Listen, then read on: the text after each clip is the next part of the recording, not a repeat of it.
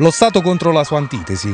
Una continua lotta che sul territorio campano si ripropone quando le forze dell'ordine tornano a colpire duro le organizzazioni criminali.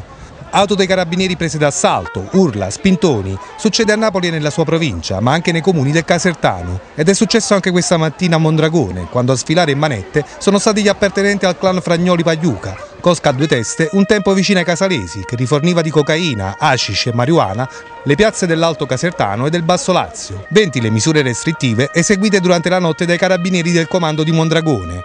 Nelle indagini della direzione distrettuale antimafia, avviate lo scorso mese di settembre dai militari dell'arma, sono finiti anni di minacce, agguati ed atti dimostrativi a scopo intimidatorio, che avvenivano attraverso armi da guerra, mitragliatrici, fucili e finanche bombe a mano. Attentati anche ai danni di un imprenditore che aveva provato ad aprire un'agenzia di pompe funebri a Mondragone, idea immediatamente smorzata dagli uomini del clan, che con una serie di di torsioni sono riusciti a far chiudere l'attività ed assicurare alla Eden SRL, l'unica impresa della zona, di lavorare in pieno regime di monopolio sul territorio.